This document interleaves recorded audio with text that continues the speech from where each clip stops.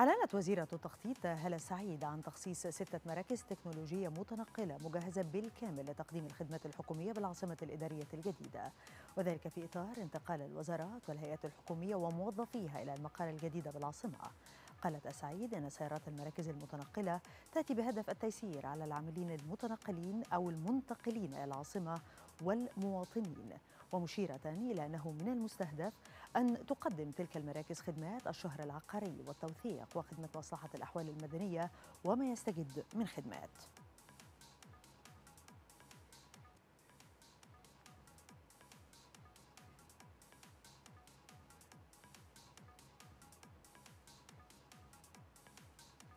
تتواصل جهود الدولة نحو التحول الرقمي بكل المجالات ولا سيما القطاع الزراعي وذلك من خلال تنفيذ العديد من المبادرات والتي من شأنها أن تحافظ على مكانة القطاع الكبير. المزيد نتابعه في هذا التقرير.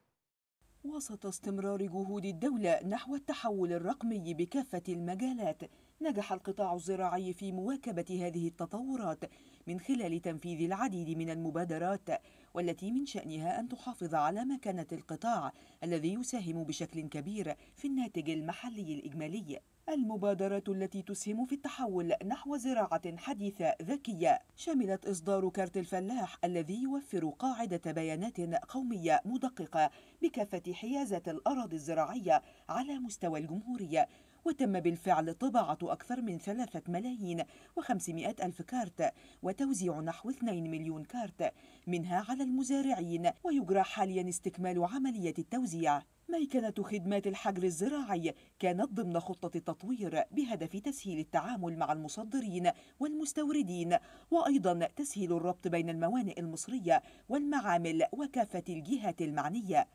ونتيجة للاهتمام البالغ الذي يحظى به القطاع الزراعي من القيادة السياسية. ارتفع إجمالي الصادرات الزراعية خلال الفترة من مطلع يناير الماضي وحتى الثامن من ديسمبر الجاري لتبلغ نحو خمسة ملايين وثلاثمائة ألف طن من المنتجات الزراعية.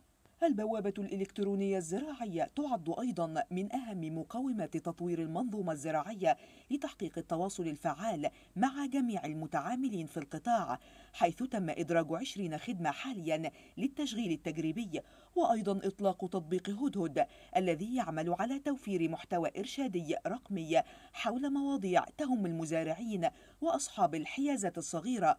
لتمكينهم من الحصول بسهولة على الاستشارة الزراعية والتوجيه السليم.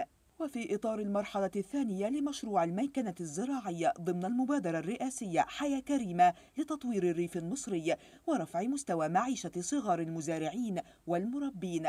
تم تطوير عدة مراكز لتجميع الألبان ضمن المبادرة ليبلغ إجمالي عدد المراكز المطورة على مستوى الجمهورية 150 مركزاً. منظومة الري الحديث تأتي أيضا ضمن استراتيجية الدولة نحو استخدام أحدث التقنيات والأساليب التكنولوجية بهدف زيادة الإنتاجية وتخفيض تكاليف مستلزمات الإنتاج وتخفيض تكاليف استخدام الوقود والطاقة من أجل تحقيق الأمن الغذائي للمواطنين وزيادة الصادرات.